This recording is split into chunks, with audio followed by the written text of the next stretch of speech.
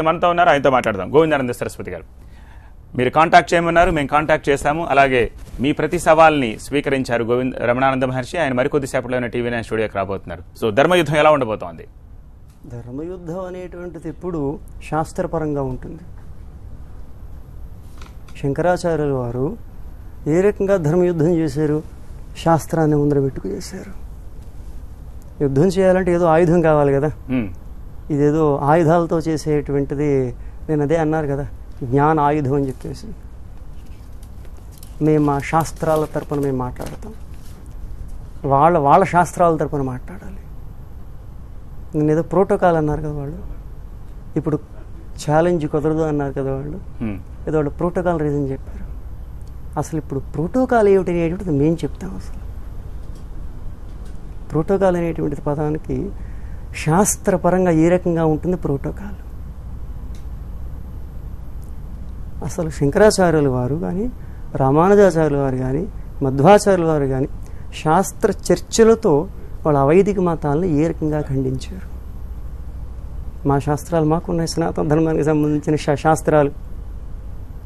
వాళ్ళ శాస్త్రాన్ని ముందర పెట్టమనివ్వండి మొట్టమొదటిగా. మొట్టమొదటి ప్రశ్న. మీ శా సాయి మతం శాస్త్రం ఏమిటి? కావస్తే మీరు రాసుకోవచ్చు. సాయి మతం శాస్త్రం ఏమిటని అడుగుతున్నారు. కొన్ని కోట్లాది మంది భక్తుల మనోభావాలకు సంబంధించిన అంశం చాలా సున్నితమైన అంశం గోవిందానంద సరస్వతిజీ. అందుకే మేము చెప్తున్నాం. ఇప్పుడన్నా వాళ్ళు తేలుకోకపోతే ఇంకా చీకటిలోకి వెళ్ళిపోతారు. ఇది ఇప్పటి నుంచి కాదు. శంకరాచార్యుల వారి సమయంలో యావత్ భారతదేశం అలా వెళ్ళిపోతూ ఉంది. అజ్ఞానంలోకి వెళ్ళిపోతూ ఉన్నప్పుడు సుజ్ఞానంలోకి తేవడమే సన్మార్గం ఇప్పుడు మేము వదిలేస్తాం. కావస్తే మీరు విగ్రహాలు పెట్టుకోండి ఏదో చేసుకోండి ఏదో చేసుకోండి వదిలేస్తాం. కానీ ఏమైపోతుంది రేపు పొద్దున్న మీ వరకు వస్తుంది ప్రభావం. ఒక నిజమైనటువంటి బ్రాహ్మణుడు కానీ నిజమైనటువంటి ఆచార్యుడు కానీ ఉన్నారు అంటే సత్యాన్ని శాస్త్రపరంగా చెప్పడానికి ప్రయత్నిస్తూ ఉంటారు. అందుకే మనకి తస్మాత్ శాస్త్రం ప్రమాణంతే కార్యాకార. రైట్ వాదనకు దైవ శక్తి ప్రదర్శనకు సిద్ధమా అని నిన్న రమణానంద మహర్షి చేసిన బహిరంగ సభలో నేను సిద్ధమే అని చెప్పి గోవిందానంద సరస్వతి అక్కడికి వెళ్ళి చెప్పిన మాట అందరికీ తెలిసిందే. ప్రస్తుతం గోవిందానంద సరస్వతి రమణానంద మహర్షి ఇద్దరు కూడా టీవీ నైన్ స్టూడియోలో ఉన్నారు. సాయికి సంబంధించిన వాదనతో మొదలై అవి పర్సనల్ వాదనలు అలాగే విమర్శల దాకా వెళ్ళింది విషయం. ఒకసారి ఈ ఇద్దరి మధ్య ఇంతవరకు పరిచయం లేదు. ఒకసారి పరిచయ కార్యక్రమంతో వెళదాం. రమణానంద మహర్షి గారు గోవిందానంద గోవిందానంద గారు రమణానంద మహర్షి. మీ ఇద్దరు ఒకే అంశంపై విభేదిస్తున్నారు ఏకీభవిస్తున్నారు కూడా. అది ఏమిటి అంటే సాయి. సాయి దేవుడా కాదా అన్న ఒకే ఒక అంశం గురించి మీ ఇద్దరు విభేదిస్తున్నారు. ఫస్ట్ ఆఫ్ ఆల్ రమణానంద గారు మీరు బహిరంగ సవాల్ చేశారు. మీరు దేనికైనా సిద్ధం అన్నారు. మీరు పుస్తకం రాశారు. ఓకే. మీరు ఎలా నిరూపించదలుచుకున్నారు? సాయి సామాన్యమైన వ్యక్తి కాదు వీళ్ళు ఆరోపిస్తున్నట్టుగా. భగవంతుడు అని చెప్పి. దానికి శాస్త్ర సమ్మతం ఏముంది అని చెప్పి గోవిందానంద ప్రశ్నిస్తున్నారు. సాయిబాబా దేవుడా సామాన్య మానవుడా అనే దానికి ప్రమాణాలు ఏమిటి అన్నప్పుడు ఆయన యొక్క సిద్ధత్వమే ప్రమాణం. ఆయన యొక్క దైవత్వమే ప్రమాణం. ఎప్పుడైతే ఒక వ్యక్తి దైవత్వంతో సిద్ధత్వంతో మహిమలు చేస్తాడో లీలలు చేస్తాడో. అప్పుడు ఆ మనిషిని ఏమంటారు? దేవుడు అని అంటారు. ఎప్పుడైతే ఆ లీలలు చేయలేకపోతాడో అతడిని మానవుడు అని అంటారు.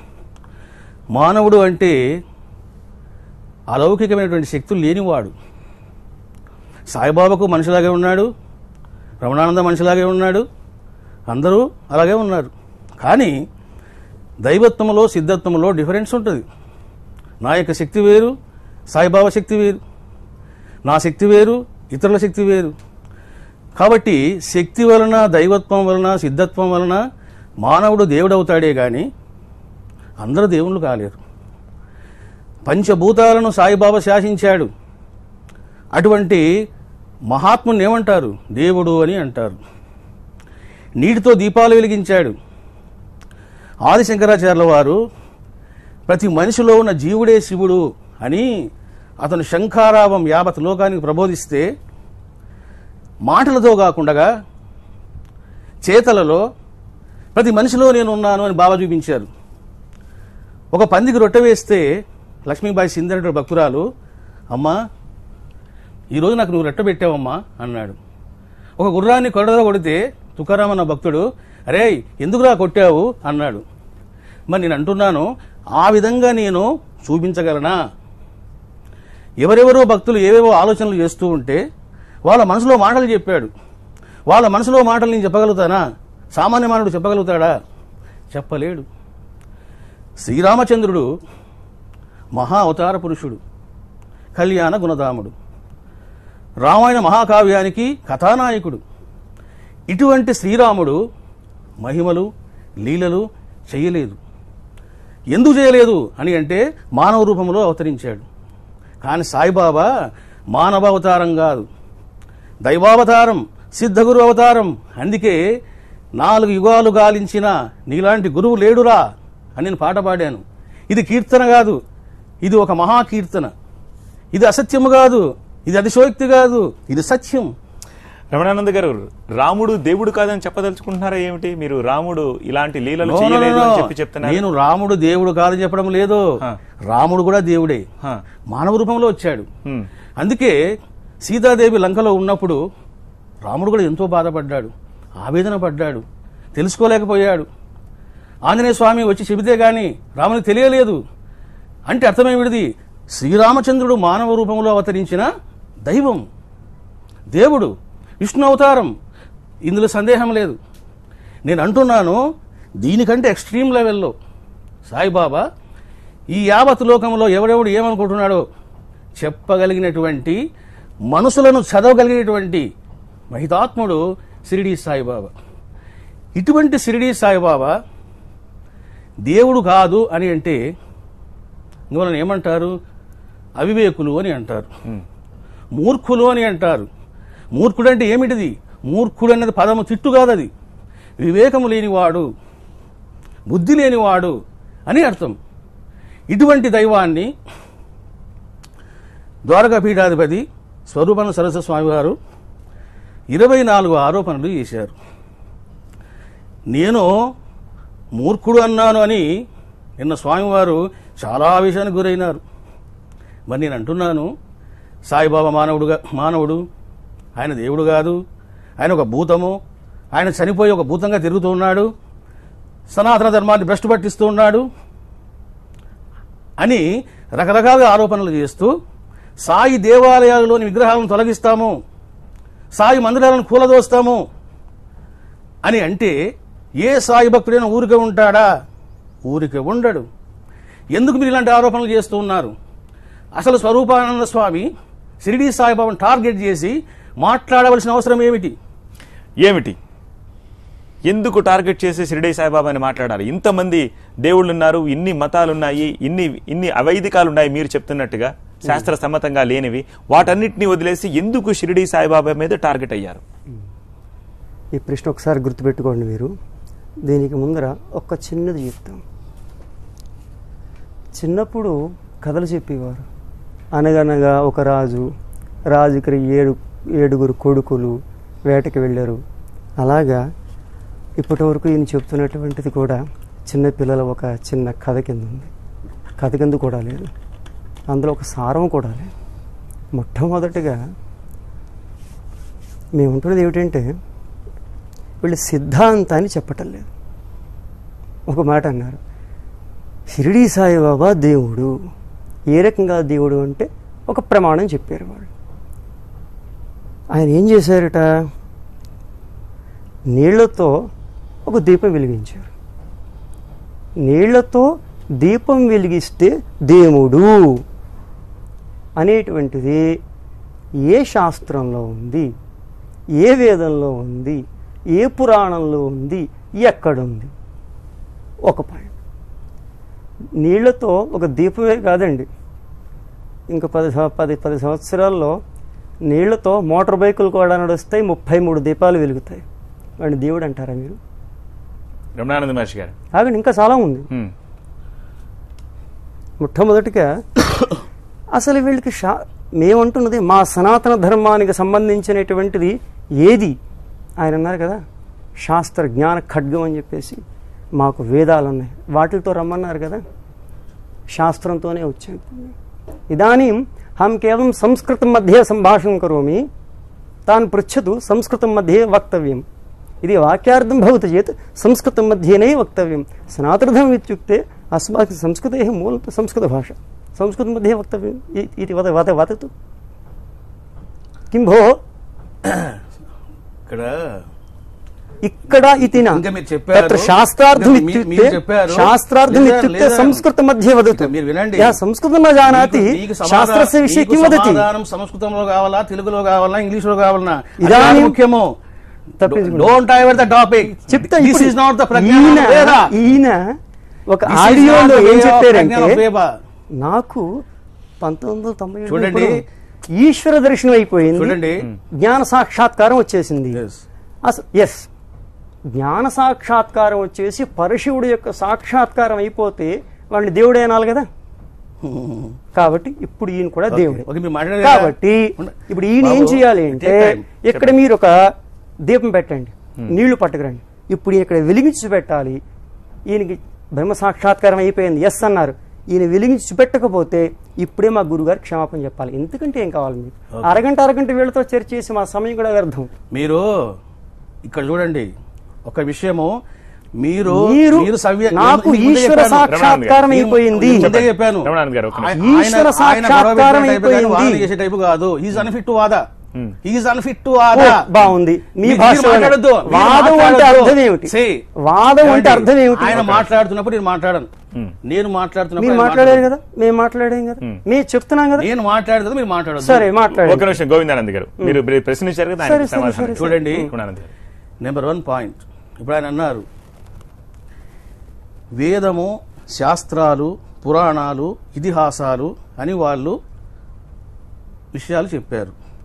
షిరిడి సాయిబాబా స్వయంగా ఏం చెప్పాడు?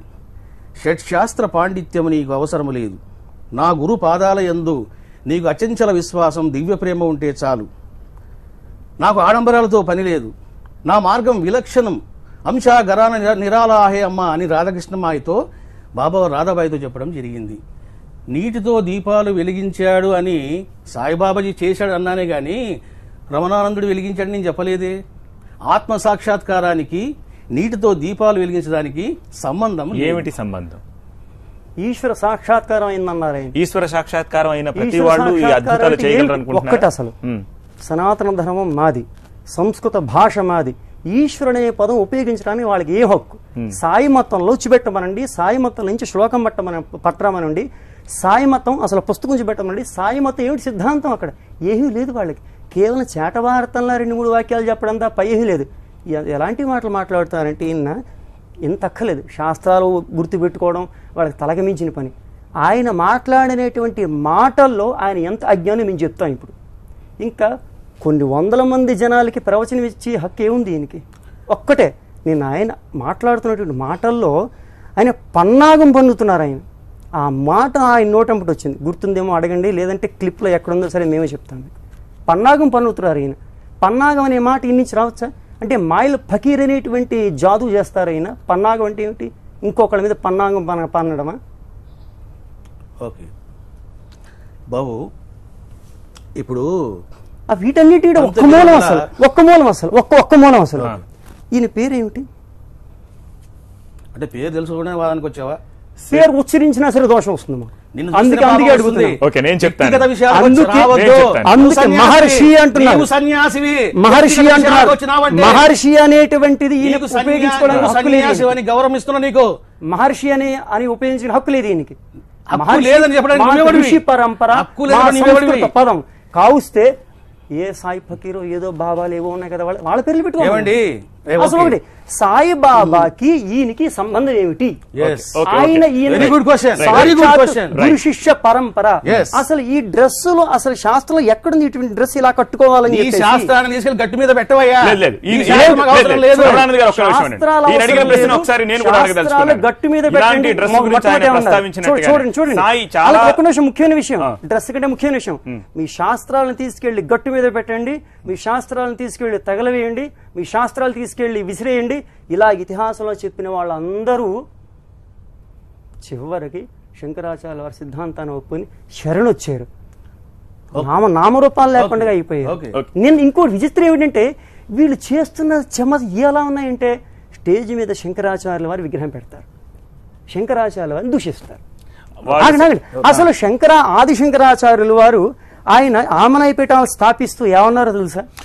ప్రస్తుతం శంకరాచార్యుల వారు అస్మత్ పీఠ సమారూఢ పరివ్రాడుక్త లక్షణ సంపన్న హమే వ్యక్తి విజ్ఞేయ. గోవిందానంద్? గోవిందానంద్ గారు నేను ఒక విషయం చెప్పానండి. శాస్త్రం మాట్లాడాలి అంటే శాస్త్రం అంటే. వీళ్ళు కాదు. ఎక్కడ చెప్పగలరు? గోవిందానంద్ గారు. రమణానంద్ గారు మీకు ఒక స్ట్రైట్ క్వశ్చన్. ఓకే. సాయి నిరాడంబరత్వం గురించి ఇంతకుముందు మీరు మాట్లాడుతూ చెప్పారు. అవును అవును. సాయికి వజ్ర కిరీటాలు చేస్తారు. బంగారు కిరీటాలు చేస్తారు. బంగారు పీఠాలు పెడతారు. సాయి ఎక్కడ ఆదిశేషుడి కింద ఈయన కూర్చుంటారు. మీ- మీరు మాట్లాడకండి. ఆ? మీరు మాట్లాడకండి. ఇవన్నీ ఎక్కడా చేయమని చెప్పి సాయి చెప్పలేదు. చూడండి. సాయి నిరాడంబరుడైతే ఓకే, ఓకే. ఇవన్నీ మీరు ఎందుకు చేస్తున్నారు? వెంకటేశ్వర స్వామికి వెంకటేశ్వర స్వామి అంటే ఎవరు? దేవుడు. వెంకటేశ్వర స్వామికి అటువంటి వెంకటేశ్వర స్వామి వారికి మాట్లాడే అవకాశం ఇవ్వండి. వాదన చేయదలుచుకున్నవాడు. ముఖాముఖిగా మాట్లాడాలి. మధ్యలో మాట్లాడితే నేను ముందే చెప్పాను. I told the condition. He's unfit to talk with me Govindanand గారు ఆయన చెప్పింది. మాట్లాడిన తర్వాత చెప్పింది విన్న తర్వాత మీరు మాట్లాడు. మీరు మాట్లాడండి. అంతే. Yes, don't talk the continue మీరు చెప్పండి. మీరు చెప్పండి. వెంకటేశ్వర వెంకటేశ్వర. స్వామి వారు అంటే ఎవరు? ఒక దేవుడు. దేవుడికి మోహం ఉంటుందా? నాకు వజ్ర కిరీటం కావాలని దేవుడు కోరుకుంటాడా? Hmm. కోరుకోడు కదా? కానీ ఆయన అలంకార ప్రియుడని భగవంతుడు- అలంకార ప్రియుడని చెప్పి అలంకార పీడని చెప్పి భక్తులు ఎంతో ప్రేమతో. తమ ధనాన్ని వీని త్యాగం చేసి ఆయన కిరీటం పెడుతున్నారు. అక్కడ కిరీటం ధరించడం అన్నది వెంకటేశ్వర స్వామి యొక్క ఇచ్చ కాదు. జీవుడి యొక్క ఇచ్చ జీవుడి యొక్క సంకల్పం జీవుడి యొక్క ప్రేమ ప్రదర్శన. అదేవిధంగా సాయిబాబా కిరీటాలు పెట్టించుకుంటున్నాడు అని అంటే అది సాయిబాబా యొక్క సంకల్పము కాదు. నా దగ్గర పది కోట్లు ఉన్నాయి గురుదేవా నాకు పది కోట్లు నువ్వు ఇచ్చావు. నేను రెండు కోట్లు ఖర్చు పెట్టి నీకు బంగారు కిరీటం చేయిస్తాను నీకు ధరింపజేస్తాను కండ్లారా నేను చూసుకుంటాను అని అంటే అది సాయిబాబా తప్ప భక్తులు తప్ప చిన్నపిల్లను తల్లి తయారు చేసి అందంగా తయారు చేస్తుంది. అది బిడ్డ కోసం కాదు. రైట్. కానీ ఇక్కడ ఎక్కడో మీరు సాయి తత్వాన్ని పూర్తిగా అర్థం చేసుకోలేదేమో అన్న ఆలోచన భక్తుడికి కలిగే అవకాశం ఉంటుంది.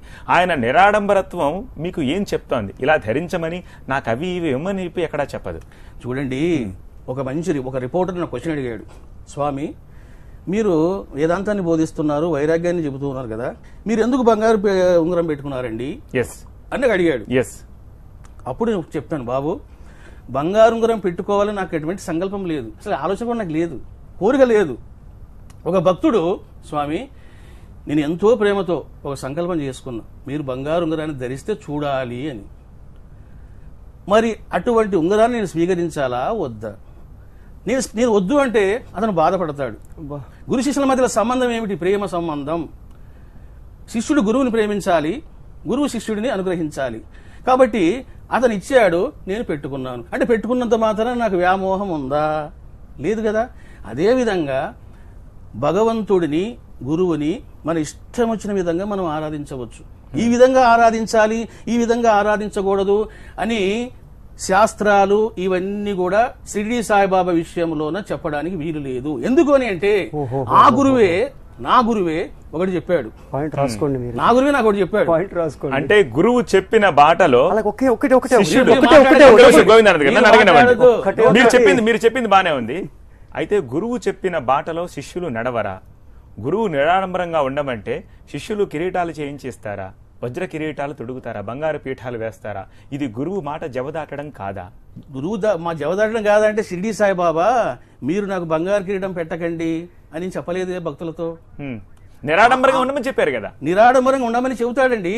అది జీవుల యొక్క సంస్కారం జీవుల యొక్క ప్రేమ ప్రదర్శన. ఇప్పుడు బాబా వారు నాకు నాలుగు హారతులు ఇవ్వండి అని చెప్పాడా? భక్తులు చేశారు. అలాగే మాట్లాడ మీరు మాట్లాడదని చెప్పాను నేను. అనవసరమైన విషయం చెప్తున్నాను లేదు. ఏదో మాట్లాడడం సారం ఎక్కడుంది? చెప్తున్నాను.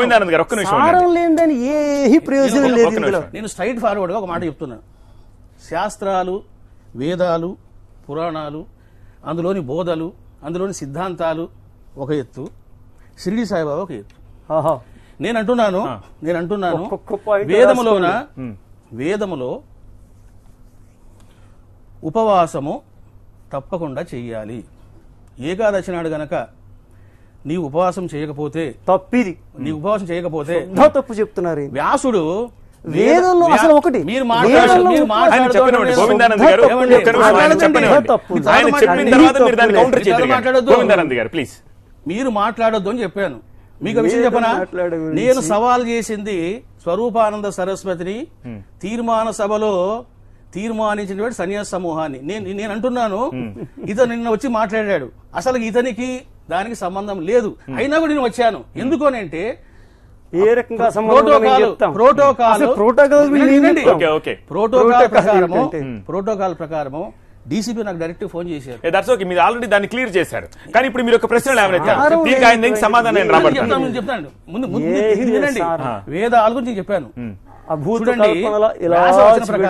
మాయ తప్ప వ్యాస వచన ప్రకారము వ్యాస వచన ప్రకారం వ్యాసలు ఏకాదశి నాడు ఉపవాసము చెయ్యకపోతే వాడికి అనేక పాపాలు వస్తాయి. కాబట్టి ఏకాదశి నాడు ఉపవాసము చెయ్యండి అని వ్యాసుడు చెప్పాడు. వ్యాసుడు ఏం చెప్పినా కూడా దాని ప్రమాణం ఏమిటి అని అంటే మన శాస్త్రాలు హైందవ వేదాలు.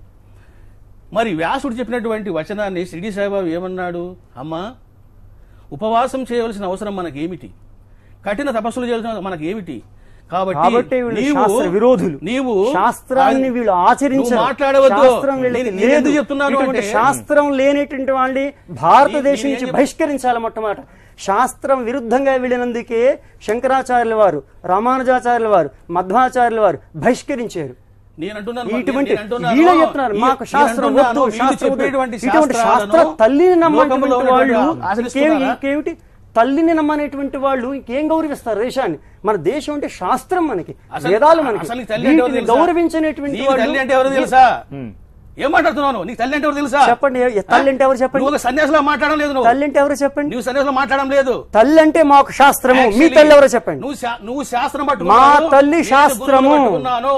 గురువు? కూడా శాస్త్రాన్నే చూసి చెబుతాడు?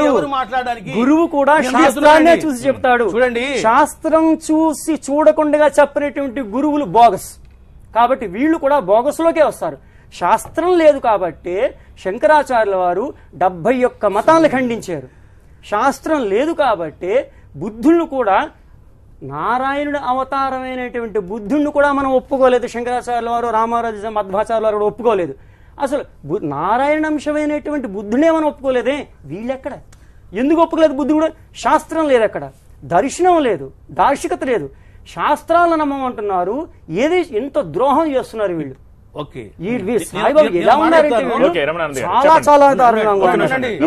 ఇంకోటి ఏమన్నారు తెలుసా? లేదు మీరు చెప్పండి మీరు ఆరోపణలు. అసలు ఏం లేదు వాళ్ళ దగ్గర. ఏం లేదు వాళ్ళ దగ్గర. ఈయన పర్సనల్గా మాట్లాడుతున్నాడండి. నేను మాట్లాడిన he's unfit to talk with me he's unfit to talk with me శాస్త్రపరంగా మాట్లాడండి. నువ్వు ఛాలెంజ్ చేసి శాస్త్రపరంగా మాట్లాడుతున్నా. You are unfit to talk with me శాస్త్రంగా మాట్లాడండి. నేను ముందే చెప్పాను. మాట్లాడే విధానం తెలుసుకో. వాదన చేసే కాదు. పర్సనల్ కథలు కాదు. Personal don't go. పర్సనల్ శాస్త్రం. చూడండి. చెప్పండి. శాస్త్రం కార్య కార్య. వ్యవస్థితౌ ఆయన చెప్పనివ్వండి. రమణానంద గారు చెప్పండి. వేదాలు సాక్షాత్తు అక్కర్లేదు. ఏ శాస్త్రం శాస్త్రం అని చెప్తున్నారు? అసలు ఒకటి సాయిబాబా అని దేవుడు అంటున్నారు. దేవుడు అనే పదం వీళ్ళకి ఎక్కడి నుంచి వచ్చింది? అసలు దేవుడు ఉన్నాడు అనేటువంటిది ఎలా తెలిసింది వీళ్ళకి? మన శాస్త్రం నుంచి అన్నింటిని దొంగిలించి వీళ్ళు శాస్త్రం అక్కర్లేదన్నారు. మరి సాయిబాబాకి పూజలు ఎందుకు? సాయిబాబాకి హారతలు ఎందుకు? హారత ఏ శాస్త్రంలో చెప్పబడింది. వీళ్ళ శాస్త్రం ముందర పెట్టమనివ్వండి బాబు ఇప్పుడు సరే వీళ్ళు శాస్త్రం శాస్త్రం అంటున్నారు. నేను ఆ శాస్త్రపరంగానే మాట్లాడతాను శాస్త్రపరంగా మాట్లాడితే సంస్కృతంలో ఇది శాస్త్ర గారు నేను కూడా మాట్లాడు. నేను కూడా మీతో ఏకీభవించాను Yes. సంస్కృతంలో. మాట్లాడితేనే శాస్త్రం అని చెప్పడాన్ని మనం అంగీకరించలేము మన మన సనాతనములు అదే చెప్పబడింది. కాబట్టి వీళ్ళకి ఆ సంస్కృత జ్ఞానం లేదు కూడా కాబట్టి సంస్కృత జ్ఞానం లేనంత మాత్రాన- సంస్కృతం లేదు కాబట్టి మేము వీళ్ళ స్థాయికి దిగి వీళ్ళకి తెలుగులోనే బుద్ధి చెప్తాం మేము. చూడండి సాక్షాత్తు పరమశివుడు ఒక మాట చెప్తాడు విహాయ శాస్త్రజాలాని గురుమేవ సమాశ్రయేత్. ఆ శ్లోకం మాది వాళ్ళది కాదు. వాళ్ళ షిరిడి సాయి మొత్తం శ్లోకం. ఎవరిదన్న విషయాన్ని పక్కన పెట్టండి. అర్థాన్ని మీ జేబులో డబ్బులు తీసుకుని మీ జేబులో డబ్బులు తీసుకుని అవతల ఖర్చు పెట్టుకుంటే మీరేమంటారు ఫెలో మీ జేబులో డబ్బులు తీసుకుని. వాళ్ళు ఖర్చు పెట్టుకుంటే. మీరేమంటారు? దాని అర్థాన్ని ముందు చెప్పనివ్వండి. మా శ్లోకం అది. శ్లోకం అయితే మాత్రం ఏమవుతుంది? అదే అంటున్నాం. మీ సొమ్ము తీసుకుని మీ పేరు చెప్పుకుని వాళ్ళ పబ్బం గడు- గడుపుకుంటున్నారు. మన భారతదేశంలో పుడుతూ మన భారతదేశంలో పుడుతూ మన ధర్మశాస్త్రాలు అయితే మీ శ్లోకం తప్పు చెప్పిందని అంగీకరిస్తున్నారా మీరు? మీ శ్లోకం తప్పు చెప్పిందని. అంగీకరిస్తున్నారా ఆయన చెప్పనివ్వండి. చెప్తాం. ఆయన నేను చెప్తాం. ఆయన నేను చెప్పనివ్వండి రెండే విషయాలు చెప్తున్నాను. సాక్షాత్తు పరమశివుడు పార్వతీదేవితో పరమశివుడు పార్వతీదేవి మా. దేవుడు మీ దేవుడు- మీ దేవుడు మా- చెప్పారా? మా దేవుడు మీ దేవుడు తప్పు అసలు చెప్పారా? మా దేవుడి పేరు దేవుడు. తప్పు చెప్పారా? మా దేవుడి పేరు ఆయన ఎత్తడానికి హక్కు లేదు చెప్పనివ్వండి వాళ్ళకి ఆయన కోట్ చేస్తున్న దాన్ని ఎందుకు మీరు పదే పదే అడ్డుగిస్తున్నారు అసలు ప్రతిదీ తప్పు కనుక ఎందు- ఎందుకు? మీకు కూడా సంపద? జ్ఞానం లేదు. కనుక. అది చెప్పనివ్వండి. అది- పెద్ద తెలుసుకోనివ్వండి వివేకం తెలుసుకో నీ గురువుకే జ్ఞానం లేదు నీకేం గురువు ఉంటుంది నీ గురువు బుద్ధిహీనుడు అని నువ్వు పెద్ద బుద్ధిహీనుడు మాట్లాడుతున్నావు. ఇది వాదన కాదు. ఇది- వాదన కాదు. వ్యక్తిగత విమర్శల జోలికి మనం వెళ్ళొద్దు వ్యక్తిగత విమర్శల జోలికి వెళ్ళొద్దు నేను. చెప్తున్నానండి అంటే ఏదండి? ఒకటి. మాట్లాడితే ఉమ్. నేను ఒకటి మాట్లాడితే మీరు మాట్లాడండి. అది పద్ధతి. మీరు మాట్లాడతామని నేను మాట్లాడకూడదు. ఇదేమిటంటే ఇదే మీరు- వీళ్ళ మీరు ప్రచారం వినండి, ఏం చేస్తారంటే మీ దగ్గర ఇరవై నిమిషాలు మాట్లాడుతూ మాట్లాడుతూ ఉంటారు. ఆ టీవీలో ప్రచారం అవుతూ ఉంటుంది. చూడండి. ఇదే వీళ్ళ దుర్మార్గం ప్రచారం. ఇదే అలాంటి అవకాశం లేదు. ఆయన కోట్ చేస్తున్నారు. దాన్ని మీరు ఎందుకు అడ్డగిస్తారో నేను తెలుసుకోదలుచుకుంటున్నాను. చెప్పండి రమణానంద గారు. చూడండి. సాక్షాత్ పరమశివుడు గురుగీతలో విహాయ శాస్త్రజాలాన్ని గురుమేవ సమాశ్రయేతు సర్వశాస్త్రాలను పరిత్యజించి గురువును పట్టుకో అని చెప్పడం జరిగింది. ఇదే విషయాన్ని శ్రీకృష్ణుడు తద్విద్ ప్రతిపాతేన పరిప్రశ్నేన సేవయ ఉపదేక్షిందితే జ్ఞానం జ్ఞానిన తత్వదర్శన. ఎవరైతే తత్వదర్శనం పొందారో ఎవరైతే బ్రహ్మజ్ఞానం పొందారో వాళ్ళను ఆశ్రయించి నీవు సేవించు అని చెప్పడం జరిగింది. శరీరం ఇంద్రియం ప్రాణం అర్థం స్వజనోబాంధవాన్ ఆత్మధారాధికం సర్వం సద్గురుభ్యో నివేదయత్. నివేదయేత్ మాట్లాడవద్దు. నివేద- సంస్కృతంలో శ్లోకం ఎలా చెప్పడం ఏంటి? నువ్వు ఏమిటో. మాట్లాడద్దు అన్న నేను. నువ్వు మాట్లాడవద్దు అర్థమవుతుందా నువ్వు. మాట్లాడవద్దు చెప్పింది అశబ్దాలు. నువ్వు మాట్లాడవద్దు. భాష మీరు చెప్పండి. అశుద్ధమైనటువంటి వేదం తెలుసు సంస్కృతం నాకు గురువు హృదయం తెలుసు. నీకు నాకు పొత్తు ఎక్కడ కుదురుతుంది కుదరదు. నేను చెప్తున్నాను బోగస్ గురువు ఇంకేం చెప్తాం గోవిందానంద గారు ఆయన మాట్లాడారు మీరు నోరు దగ్గర పెట్టుకోకపోతే నోరు దగ్గర పెట్టుకోకపోతే అదే నేర్పారు వీళ్ళ మంచిది. కాదు. అదే వీళ్ళ భక్తులు. నేర్పారు.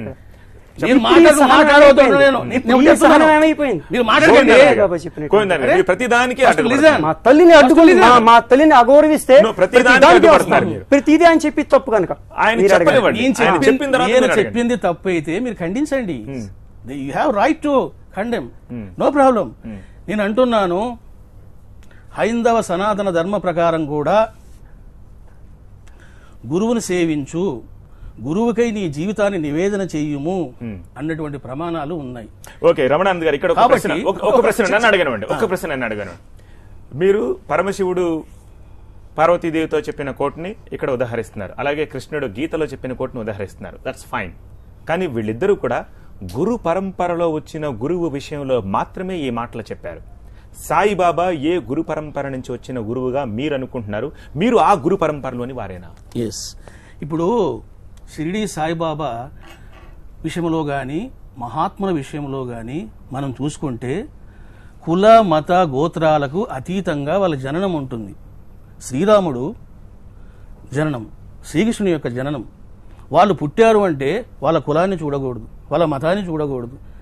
అంటే సామాన్య మానవులకు కుల మత గోత్ర ఇవన్నీ ఉంటాయి తప్ప అలౌకికమైనటువంటి అవతార పురుషులకు కారణ జన్ములకు ఇవన్నీ ఏమి ఉండవు. పరంపర అయితే ఉంటుంది కదా. రాముడు గోత్రం లేదా? పరంపర అయితే ఉంటుంది? దక్షిణామూర్తికి పరంపర ఉన్నదా? ఎందుకని అంటే దక్షిణామూర్తి అంటే ఎవరు? ఆది గురువు ఇటువంటి ఆది గురువు సనక సనందులకు మౌనంగా బ్రహ్మజ్ఞానాన్ని ప్రసాదించాడు. ఐఎమ్ ఆస్కింగ్ క్వశ్చన్ దక్షిణామూర్తికి పరంపర ఉన్నదా? చెప్పండి. ఇప్పుడు చెప్పండి. అసలు వీళ్ళు ఏం చేస్తారు అదే వాళ్ళ దగ్గర ఒక మట్టి బొమ్మ ఉన్నది. ఆ మట్టి బొమ్మని అక్కడ ఒక ప్రాణం ఉన్నటువంటి మనుషులు. మీరు question కి answer దీనికి చెప్పండి. అది మీ అదికే ఈ మట్టి బొమ్మని దానికి చూపించి అది ఇది ఒకటి అంటున్నారు. మేమంటున్నాం మా దక్షిణామూర్తి పేరు ఎత్తడానికి మీకు అనేది అధికారం? వాళ్ళది సాయి మతం. సాయిబాబా శాస్త్రం ముందర పెట్టమని ప్రతిదానికి మా దేవుడిని తీసుకొస్తున్నారు మీరు చెప్తున్నారు. అర్థమవుతుంది ఇక్కడ? ప్రతిదీ ఇక్కడ ఇంకొకటి. చెప్పింది భగవద్గీతలో శ్లోకం ఈశ్వరుడు పార్వతికి చెప్పాడు అంటున్నారు. ఈశ్వరుడు పార్వతి చెప్పినటువంటి శ్లోకం ఏమిటిది? ఈశ్వరుడు పార్థిపోయిన శ్లోకము గిరు గురుగీతలో ఉన్నది. పద్మపురాణ అంతర్గతము. పద్మప్రాణాంతర్గతం గురుగీత కూడా ఉంది అంతా ఉంది. ఇక వీళ్ళు అంటున్నారు ఈశ్వరుడు పార్వతికి చెప్పాడు. ఈశ్వరుడు పార్వతికి చెప్పింది ఇది ఒక్కటే కాదు. ఆ గురువు ఏం చెప్పాలి? ఆ గురువు ఏం చెప్తాడు? శాస్త్రం చెప్పాలి ఆ గురువు. ఆ గురువు ఏం చెప్తాడు? వీళ్ళు చెప్పట్లేదు. ఎక్కడికైనా శాస్త్రం నుంచి తప్పించుకు వెళ్ళలేరు. నీ వెంట వెంటాడుతూనే ఉంటుంది. ఇలా డెబ్బై ఒక్క మతాల వెంట వెంటాడింది రెండు వేల ఐదు వందల సంవత్సరాల క్రితం. నిన్న శంకర జయంతి మళ్ళా నిన్నటి నుంచి వీళ్ళందరి వెనకాల వెంటాడుతూనే ఉంటుంది. ఎప్పటి వరకు వీళ్ళు శాస్త్రం ఒప్పుకోరో వీళ్ళు మాట్లాడారు కదా మేము మాట్లాడుతున్నాం. ఓకే గోవిందానంద్ గారు ఇక్కడ ఇక్కడ ఇక్కడ భక్తులకు మరో ప్రశ్న ఉత్పన్నం అవుతుంది. పదే పదే మీరు శాస్త్రాలను ఉదాహరిస్తున్నారు. మీ శాస్త్రానికి ప్రమాణం ఏమిటి? హా తస్మాత్ శాస్త్రం ప్రమాణం. మా శాస్త్రాలు అనేటువంటి దీనికి వేదాలు అంటారు. అపౌరుషయములు. వేదాలు అనాదిగా ఉన్నటువంటివి అపౌరుషేయాలు. వాటిని ప్రశ్నించే వాళ్ళు కూడా ఉంటారు. వాటి ఉనికిని ప్రశ్నించే వాళ్ళు కూడా ఉంటారు. ప్రశ్నించే వాళ్ళు కూడా. ఉంటారు. దీనికి. సమాధానం మీరు మాత్రం చెప్పగలుగుతారా? తప్పనిసరి ఎందుకు లేరు? వేదాలను ఒప్పు- ఒప్పుకునేటువంటి వాళ్ళు చార్వాకులు ఉన్నారు. వాళ్ళు ఏమంటారంటే రణంకృత్వ ఘృతం పిభేత్ చక్కగా అప్పులు చేసి చక్కగా దీక్షలు ఇస్తామని చెప్పేసి డబ్బులు తీసుకుని వాళ్ళ చక్కగా నెయ్యలతో సున్నుండలు తినేస్తూ వాళ్ళు చచ్చిన తర్వాత ఎవరిని అడిగేది? ఇది వాళ్ళ ఫిలాసఫీ చార్వికులు అంటారు. అర్థమైందా? ఇప్పుడు మేము ఇలాంటి మతాలని చాలా ఖండించారు. ఎందుకంటే అసలు మీరు శంకర దిగ్విజయం చదవండి మీరు. మీరు శాస్త్రం చదవండి. చదవరు. వీళ్ళు ఏం చేస్తున్నారంటే ఆ గురువుని పెట్టుకుని ఆ, ఎవ్వడిని ప్రశ్న చేయకూడదు. గురువు ఏం చెప్తే అది చేయాలి దా ఈ బా ఈ బానిసత్వాన్ని వీళ్ళు నేర్పుతున్నారు సాయి భక్తులకి హ్మ్. సాయిబాబా వాళ్ళకి ఏం చెప్తున్నారంటే నేను ఏం చెప్తానో అది నువ్వు చేయాలి. మరి ప్రశ్న అడగకూడదు. అర్థమవుతుందా? ఇక్కడ- ఇంకోటి. గురువు అన్నారు గురువు అన్నారు ఇక్కడ. గురువు అన్నారు కదా? అసలు గురువు అనేటువంటి పదానికి అసలు అధ్యాపకుడు అనే పదానికి అసలు ఆచార్య అనే పదానికి అసలు ఉపాధ్యాయుడు అనే పదానికి ఎన్ని రకాలు ఉన్నాయో తెలుసా అసలు? నేను అక్కడికే రాబోతున్నాను. దేవుడు కాదు కదా. సామాన్య మనుషుడు అంటే వినండి. ఇంకోటి ఏమన్నారు తెలుసా. సాయిబాబా నిత్య అగ్నిహోత్రి అసలు అగ్నిహోత్రం ఏమిటి? అగ్నిహోత్రం పెట్టుకోవడానికి అర్హత ఏమిటి? గృహస్థులు అగ్నిహోత్రం చేస్తారు. సాయిబాబాది అగ్నిహోత్రం ఎక్కడ ఉంది? హ్మ్. అది కూడా పచ్చి అబద్ధం. సతీష్ గారు. దాంతో చూడండి ఇంట్లో. అది చెప్పి ఇంకా మీరు ఆయన మాట్లాడకూడదు. చెప్పారు. మీరు ఆయన చెప్పారు మాట ఆయన దాటుతున్నారు. ఆయన మాట్లాడేప్పుడు మేము మాట్లాడుతున్నారు సరే మేము మాట్లాడుతున్నప్పుడు ఆయన మామూలుగా వినాలి కదా. ఇంకొకటి. ఇక్కడ చక్కగా నిన్న పరిపూర్ణమాన స్వామి మంచి మాట అన్నారు. పీఠం. అసలు ఇప్పుడు ప్రస్తుతం ఏమైపోతుందంటే ఇష్టం వచ్చిన వాడు ప్రతివాడు పీఠాలు పెట్టేసేయడం. ఇష్టం వచ్చిన వాడు ప్రతివాడు దీక్షలు ఇచ్చేసేయడం. అసలు పీఠాలు పెట్టడానికి ఎవరికి అధికారం ఉంది? నేను అంటానండి రేపొద్దున నేను ఆంధ్రప్రదేశ్లో తెలంగాణలో కొత్త గవర్నమెంట్ పెట్టేస్తాను నేను. చంద్రశేఖర్ ఒప్పుకుంటాడా? పోలీసులు ఒప్పుకుంటారా? అక్కడైతే ఒక నియమబద్ధమైనటువంటి ఉంది. ఇక్కడ అలా కాదు స్వతంత్రం ఎక్కువైపోయింది కదా. ఎలా కావస్తే అలా జనాల మోహం చేయొచ్చు ఎలా కావస్తే ఏ పుస్తకాలని రా రాసేసేయచ్చు అక్కడ ఆదిశేషుడు పగ వేసేసేసి కూర్చోవచ్చు ఇలా నానా కృత్యాలన్నీ చేయొచ్చు. అది స్వాతంత్రం చాలా ఇదైపోతుంది. ఇప్పుడు సామాజిక రాజకీయంగా ఏ రకంగా ప్రక్షాళన అవుతుందో అసలు సన్యాసులు మఠాలు ఈ ప్రక్షాళన అంతా అవ్వాలి. ఈ ప్రక్షాళన అయితే కానీ కుదరదు ఆ ప్రక్షాళనకే నిన్నటి నుంచే శంకర దిగ్గి శంకర జయంతి నుంచే మొదలు మొదలు పెట్టాను చూడండి ఇంకోటి చెప్తాం అసలు వీరు. అంశాల. వారీగా అంశ- అంశాల అంశాల వారీగా వారీగా వారిని- ఒక్కటే ఒకటి ఒకటే ఒకటే ఈయన- ఏమన్నారంటే నాకు ఎస్ అని కూడా అన్నారు కాస్త మీరు రికార్డ్ ఇంకో మా- ఇంకోసారి చూసుకోండి ఈశ్వర సాక్షాత్కారం అయిపోయింది నాకు. ఈశ్వర సాక్షాత్కారం అంటే ఏమిటి అనుకుంటున్నారు కలలో చూసేటటువంటి ఒక విషయాలు- కల్పన విషయాలు కానివ్వండి నెక్స్ట్ నేను మాట్లాడతాను ఒక.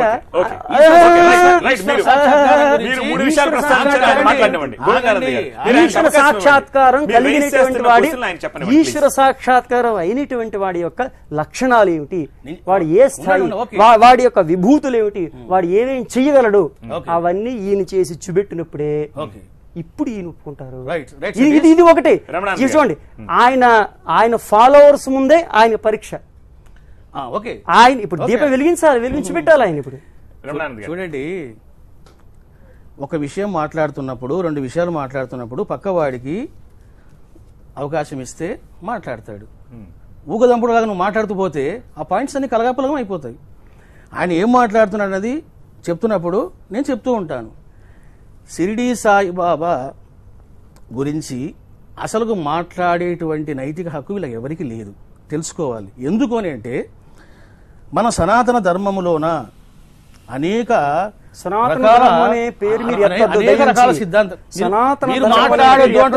తప్పది. ఈ. పాయింట్ మీరు అడగండి. మీకు హక్కు లేదు. సనాతన ధర్మం నువ్వు ఈ మాట్లాడబోయా పాయింట్ నువ్వు నోట్ మాట్లాడకు. ఆయన పూర్తిగా చెప్పనివ్వండి. చెప్పిన తర్వాత మాట్లాడకండి. చూడండి సాంప్రదాయ మార్గము సిద్ధ మార్గము అనేవి రెండు ఉన్నాయి సాంప్రదాయ మార్గములో నియమాలు నిష్టలు ఆచారాలు కట్టుబాట్లు చాలా కఠినంగా ఉంటాయి. నిత్యాగ్నిహోత్రం చేయాలంటే స్నానం చేయాలి ఇలా ఉండాలి అలా ఉండాలి ఈ విధంగా కూర్చోవాలి ఈ విధంగా విభూధారణ చేయాలి అని ఎన్నో ఉంటాయి. సిద్ధ మార్గములోన ఇటువంటివన్నీ ఏమీ ఉండవు. ఎందుకు ఎందుకు ఉండవు? ఎందుకు ఉండవు? మాట్లాడకండి అని చెప్పాను. ఎందుకు ఉండవు? అని అంటే సిద్ధ గురువులు బుద్ధికి అతీతంగా ఉంటారు. బుద్ధికి అతీతంగా చరిస్తారు. బాబావారు నిత్యాగ్నిహోత్రం చేస్తున్నప్పుడు ఒక భక్తుడు అడిగాడు బాబా మీరు ఎనిమిది రోజులైనా స్నానం చేయలేదు బాబా. కనీసం పండ్లు కూడా దోమలే. బట్టలు మార్చుకోలే. మరి మీరు ఏ విధంగా నిత్యాగ్నిహోత్రాన్ని చేస్తున్నారు? ఇది ఏ విధంగా శాస్త్ర సమ్మతం? అన్నప్పుడు బాబా ఒక మాట అన్నాడు. నేను ప్రతిరోజు కాశీకి వెళ్ళి స్నానం చేసి వస్తున్నాను కదా అన్నారు. అంటే ఆ మాటలకు సామాన్య మానవులకు ఏమర్థమవుతాయి పండితులకు ఏమర్థమవుతాయి ఇలాంటి సన్యాసులకు ఏమర్థమవుతాయి మీకు సమాధానం దొరికిందా? అంతా బోగస్ అని అర్థమవుతుంది చెప్పనివ్వండి ఆయన. మీరు బోగస్ అని ఎలా కుట్టి పారేస్తారు చెప్తున్నాం కదా, శాస్త్రం లేనిటువంటిది ఏంటి బోగస్సు? బోగస్సు. బోగస్ వీళ్ళ వీళ్ళకి తిట్టడం తప్ప దూషించడం తప్ప వీళ్ళ- వీళ్ళకి తెలివి. లేని మూర్ఖులు మీ- ప్రశ్నకు ఆయన స్ట్రైట్గా సమాధానం చెప్పారు ఒక ఉదాహరణ కూడా చెప్పారు నేను నేను. చూడండి నేను. నేను సిద్ధాంతాన్ని మాట్లాడుతుంటే సిద్ధాంతం లేదు సిద్ధాంతం చెప్పండి? సిద్ధాంతం పేరు నేనేం మాట్లాడుతున్నాను? పుస్తకం సిద్ధాంతం భాష సిద్ధాంతం సాయి శైలి సిద్ధాంతం, దర్శనం గ్రంథం? జీవితం. సాయి సిద్ధాంతం. చెప్పండి ఎక్కడ సాయి సిద్ధాంతం చెప్పండి? సాయి సిద్ధాంతంలో ఒక వాక్యం చెప్పండి నేను అంటున్నానండి. సాయి సిద్ధాంతం భాష ఏమిటి మాట్లాడకండి. సాయి సిద్ధాంతం సాయి సిద్ధాంతం భాష ఏమిటి? సాయి సిద్ధాంతం పుస్తకం ఏమిటి? సాయి సిద్ధాంతం దర్శనం ఏమిటి? సాయి సిద్ధాంతం శైలి ఏమిటి? సాయి మతం ఏమిటి. మీరు చెప్తున్న గ్రంథాలని యాక్సెప్ట్ చేసినప్పుడు ఎందుకు సాయి గ్రంథాన్ని మీరు యాక్సెప్ట్ చేయలేరు? లేదు కదా అసలు ఎక్కడుంది? చెప్తున్నారు కదా సాయి జీవితం సాయి వినండి సాయి సాయి సిద్ధాంతం. సాయి జీవితం దర్శనం అయిపోతుందా సాయి జీవితం ఏమండి, వేదం అయిపోతుందా ఏమండి? అంటే ఇప్పుడు మన ఋషులు వాళ్ళు వెరివాళ్ళు అయిపోయారా వాళ్ళు రాసిన గ్రంథాలన్నీ మూల పాడేసేయాలా ఇంత ఆ శంకరాచార్య వారు రామానుజాచార్య మధ్వాచార్య వారు వాళ్ళ ప్రాణాలు తెగించి ఇలా ఇలాంటి. వాళ్ళు? శాస్త్రం అంటే వ్యాలిడిటీ ఏమండి? శాస్త్రం అంటే- ఉండండి, ఉంటుంది. ఇప్పుడు శాస్త్రం కాదు చూడండి. సలసల కాగే నీటిలో సాయిబాబా తన చెయ్యిని పెట్టి గరిటలాగా తిప్పి అన్నం ఉడికిందా లేదా అని చూశాడు. ఆ విధంగా నువ్వు గాని నీ గురువు గాని నీ స్వరూపానంద స్వామి గాని ఆ విధంగా చేయగలుగుతాడా? చేయలేడు. Number two. పోని ఈశ్వర సాక్షాత్కారం? పోని సాక్షాత్కారమే అయిపోయింది. ఈయన్ని ఈయన. కాదు మీరే పోని ఈశ్వర మీరు సాక్షాత్కారం అయింది కదా. ఈయన చెప్ప కదా. మీరు ఎందుకంటే ఆ. మాయాజాదులు చేసేటువంటి పరంపర కాదు. మాయాజాదులు నువ్వు చేసే మాయలో ఉన్నావు పెద్ద మాయలో ఉన్నావు. శాస్త్రం అనే గోతులో నువ్వు శంకర- పడ్డావు. వేదం అనే గో- గోతులో నువ్వు పడ్డావు. వ్యాసుని గోతులో పడ్డావు. ఆ, చెప్పండి. వ్యాసుడు వేదం మాకు ప్రమాణం కాదు.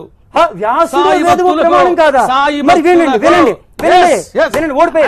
శాస్త్రము వేద వ్యాసుడు ప్రమాణం భక్తులకు భవిష్య పురాణంలో ఎందుకు తీసుకున్నారు ఈయన? భవిష్య పురాణంలో. అసలు నువ్వు లేనే లేదు. అడిగావు కాబట్టి తప్పు సమాధానం చెప్పాను. తప్పులు పలుకుతున్నారు ఏమండి, సతీష్ గారు? వేద వ్యాసులకి. వేదాలకి ప్రమాణం లేదన్నారు ఋషులు పేరు పెట్టుకొని. మహర్షిని పెట్టుకుని వేద వ్యాసుల వారికి ద్రోహం చేస్తున్నారు కదా ఏ ఎందుకండి వీళ్ళందరూ అనవసరంగా ఏమండి వ్యాస మహర్షి యొక్క బోధని ఈ కలియుగ మానవులకు తరుణోపాయం ప్రమాణం అని అంటున్నారు వ్యాస మహర్షి పద్దెనిమిది పురాణాలను రచించాడు ఈ పద్దెనిమిది పురాణాలలోన ఎన్ని కట్టుకథలు ఉన్నాయి? ఎన్ని కల్పితాలు ఉన్నాయి? వినండి అంతేగా. తప్పు. అలా అంతేకాదు. ఇది ఎన్ని ఆయన ఆయన కూడా మాట్లాడండి సరే సరే అవకాశం ఇచ్చాం మీకు- మాట్లాడండి. మీకు వాదన చేసేటువంటి జ్ఞానము గాని అర్హత గాని నియమ నియమాలు గాని నీకు తెలియదు. How can you came to talk with me నియమాలంటే ఏమిటి? చెప్పండి. నువ్వు మాట్లాడదు నువ్వు మాట్లాడవద్దు. కదా, నియమాలు అంటే. ఏంటి? నియమాలు ఎక్కడ ఉన్నాయి? నేను చెప్తున్నాను. నియమాలంటే నియమాలు ఎక్కడ ఉన్నాయి? మీ శంకరాచార్యులు గారు డెబ్బై యొక్క అవైదికాల్ని ఇలాగా వాదంలో ఓడించి వాళ్ళని పాదాక్రాంతం చేసుకున్నప్పుడు కూడా ఇలానే వాదించారా? చెప్తాం. మంచి ప్రశ్న అడిగారు? మంచి ప్రశ్న అడిగారు. మంచి ప్రశ్న అడిగారు. చెప్పండి. మంచి ప్రశ్న అడిగారు. ఏం చేశారంటే ఏం చేశారంటే అసలు దేనికన్నా వాదన. సమాన స్థాయి ఉండాలి. ఇప్పుడు ఆయన ఆరోపించింది. ఆయన ఆరోపించింది. ఒకటే ఒకటి. చెప్పండి. ధర్మ సింధు మేము ముందర పెడుతున్నాం. సాయిబాబా. శాస్త్రం ముందర పెట్టమనివ్వండి సతీష్ వాళ్ళ సాయిబాబా శాస్త్రం ముందర పెట్టమనివ్వండి చెప్పండి. వాళ్ళ సాయిబాబా శాస్త్రం ముందర ఓకే. మేము ధర్మ సింధు ముందర పెడుతున్నాము. వేదాల ముందర పెడుతున్నాము. పురాణాల ముందర పెడుతున్నాము. వాళ్ళ శాస్త్రం ముందర పెట్టనివ్వండి లేదు వాళ్ళ దగ్గర. ఎందుకు ఈ- లేదు? ఇది కూడా మాటలే. ఎందుకు లేదు? అంటే సాయిబాబా వంద సంవత్సరాల చరిత్ర. రాసేస్తే అయిపోతుందా? చూడండి. అంటే చరిత్ర ఒక బండి ఒక బండి అవుతుంది. ఎప్పటి నుంచి ఎవడో వస్తాడు ఆ కుర్రాడు వస్తాడు. వాడు టోపీ కట్టుకుని ఏదో వేస్తాడు వా- వాడికి ఒక శిష్యుని పెట్టుకుంటాడు. వాడు కూడా ఒక ఇతిహాసం రాస్తాడు శాస్త్రం అయిపోతుందా? ఒక నిమిషం బాబు. నేను ఒక మాట చెప్తున్నాను. వ్యాసుడంటే మా గౌరవమే. లేదు ఇప్పుడే నేను- అన్నారు నిషే. వ్యాసుడు నమ్మకం లేదు. వేదాలు నమ్మకం లేదు అన్నారు రెండు నేను? నాలుకల మాట ఏమండి? చెప్పనివ్వండి. ఈ- ఈ- రెండు నాలుకలు మాట్లాడారు. మీరు పూర్తిగా మాట్లాడండి పూర్తిగా మాట్లాడి ఖండించండి. ఏమన్నారంటే మీరు మాట్లాడొద్దు. రామాయణానికి కూడా ఆయన ఆయన ఇలా అయితే వాదన వాదన నడవదు. వాదన కాదండి. ఇది వాదన అవ్వదు చూడండి. ఏకపక్షంగా మీరే మాట్లాడితే నేను- వాదన నేను అవ్వదు ధర్మంగా ఒకటి చెప్పాను. నేను మీకు ఇంటర్వ్యూకి వచ్చినప్పుడు మాట చెప్పాను వాదములోన ఆవేశం పనికిరాదు. కేకలు పనికిరావు. ఒకరు చెప్పింది మరొకరు వినాలి ఖండనలు చేయాలి. అది వాదం యొక్క విధానం. అంతేగాని నేను చెప్పుకుంటా పోతాను చెప్పుకుంటా పోతాను అంటే అక్కడ వినే వాళ్ళకి ఏం అర్థం కాదు అక్కడ. నేను చెప్తున్నాను. యోగ్యమైన మాటలు అయితే నేను-. చెప్తున్నాను. అయోగ్య మాటలు ఎక్కడ రైట్ రైట్ రైట్ ఒక్క నిమిషం ఉండండి మీ ఇద్దరికి ఒక్క నిమిషం. ఈ వాదన ప్రస్తుతం రెండు తెలుగు రాష్ట్రాల్లోని తెలుగు భక్తులు చాలా సీరియస్గా దీన్ని వీక్షిస్తున్నారు. పంజగుట్టలో సాయిబాబా టెంపుల్లో చాలా మంది భక్తులు ఉన్నారు ఈ వాదనని వాళ్ళు కూడా చూస్తున్నారు. వాళ్ళు ఏమనుకుంటున్నారో మా ప్రతినిధి గణేష్ ప్రత్యక్ష ప్రసారంలో మనకు అందించేందుకు సిద్ధంగా ఉన్నారు. ఒకసారి గణేష్ దగ్గరికి వెళ్దాం. అక్కడ వాళ్ళు ఏమనుకుంటున్నారో చూసిన తర్వాత మళ్ళీ చూద్దాం. గణేష్. సాయి దేవుడా కాడా. ఈ చర్చ అనేది చాలా అర్ధరహితం అనేది సాయి భక్తులు ఇప్పుడు వాళ్ళు మనస్ఫూర్తిగా చెప్తున్నది. లేక ఆయన మహిమలు కానీ లేకపోతే ఇంతమంది భక్తులు ప్రతి గురువారం కావచ్చు ప్రతి ఇతర సందర్భాల్లో కావచ్చు ఇంత పెద్ద ఎత్తున రావడం కానీ వాళ్ళ కోరికలు తీర్చడం కానీ జరుగుతుంది. ఇటువంటి సందర్భంలో సాయి దేవుడా కాడనే చర్చ అనేది అసలు అనవసరమైనది. ఇటువంటి చర్చకి ఆస్కారమే లేదు. స్వామి పీఠాధిపతులు కావచ్చు లేకపోతే మఠాధిపతులు కావచ్చు. ఎవరైనా సరే సాయి దేవుడు కాదనేది ఇక్కడ ఎవరు భక్తులు అంగీకరించే పరిస్థితి మనకు కనిపించట్లేదు. మనం చూడొచ్చు ఇక్కడ పంజాగుట్ట సాయి టెంపుల్లో ఎంత పెద్ద ఎత్తున భక్తులు ఉన్నారు. భక్తుల్లో చాలా మంది మన ముందుకున్నారు. దీన్ని ఖచ్చితంగా చాలా మంది భక్తులు దీన్ని నిర్బంధంగా కట్టిస్తున్నారు. ఇటువంటి చర్చకి ఆస్కారమే లేదని చెప్తున్నారు. మన ముందు కొందరు భక్తులు ఉన్నారు. వాళ్ళతో మాట్లాడి తెలుసుకుందాం. అమ్మ చెప్పండి. సాయి దేవుడా కాడా అనే చర్చ జరుగుతుంది. మీరు చెప్పండి. అసలు ఆయన చెప్పిన ఆయన గురువా కాదండి? అసలు ఇది ఇతను ఇంత మాట అంటానికి అతను కను పిలిస్తే పలికి అతను. కానీ అతను చె- ఇప్పుడు గురువు గారు ఉన్నారు కదా ఏరే అతను బాబా గారిని ఇలాగా అన్ని అసలు ఆయన గురువా కాదా? మాకే తెలుస్తలేదు ఏమనుకుంటారు ఇటువంటి చర్చ జరుగుతుంది కదా మీరు ఏమనుకుంటారు ఆయన ఎదురుగుండా వస్తే మేమే మాట్లాడదాం. మరి ఆయన ఎక్కడో ఉండి మాట్లాడితే మాకు తెలియదు కదండి. మేము రాత్రి నుంచి చాలా బాధపడతాం. మేము ఈ టీవీ నైన్ చూసిన కాడి నుంచి మాకైతే చాలా బాధ అనిపిస్తుంది. నేను రోజు ఇక్కడ అందరూ రోజు బాబా గారిని దర్శనం చేసుకొని మేము ఏ పని చెయ్యం. ఆయన కనిపించి మాకు లేదన్న వాళ్ళకి అందరికీ మాకు ఎంతో సాయం చేశాడు ఆయన. మీరు మీ పెద్ద పెద్ద వాళ్ళందరూ సాయం చేస్తాం కదా ఆయన కనిపించిన దేవుడు ఆయన.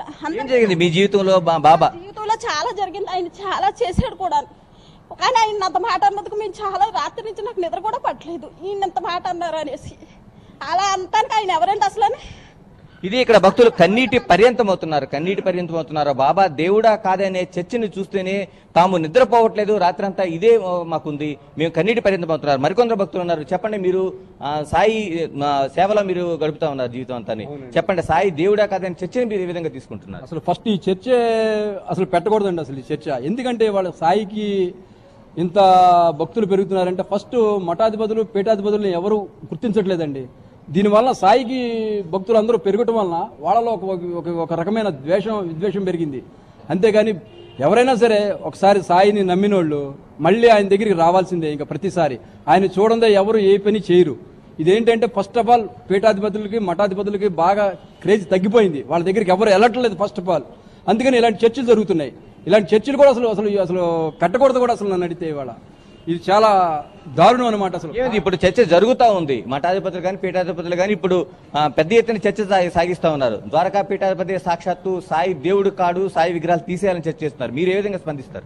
అది చాలా తప్పండి అసలు ఆయన. ఆయన అంత పెద్ద ఆయన ఆ స్టేజ్లో ఉండి అలా మాట్లాడకూడదు. సాయి దేవుడు కాదని ఎవరన్నా రమ్మనండి ఆయన ఇక్కడ రమ్మనండి చెప్తాం.